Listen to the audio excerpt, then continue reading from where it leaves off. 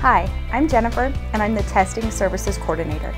The Testing Center is one of the best places to take exams on campus. If your professor schedules your exam in our center, you may have longer than a regular class period to complete your exam. You also have the freedom to take your exams anytime we are open on your assigned day, allowing you extra time to prepare for your exam and completely focus on your exam distraction-free.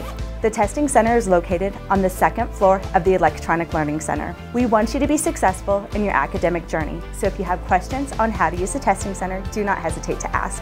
We are here for you and hope you have a great testing experience. For specific information on Testing Center hours and procedures, visit suu.edu forward slash testing. Go T-Birds!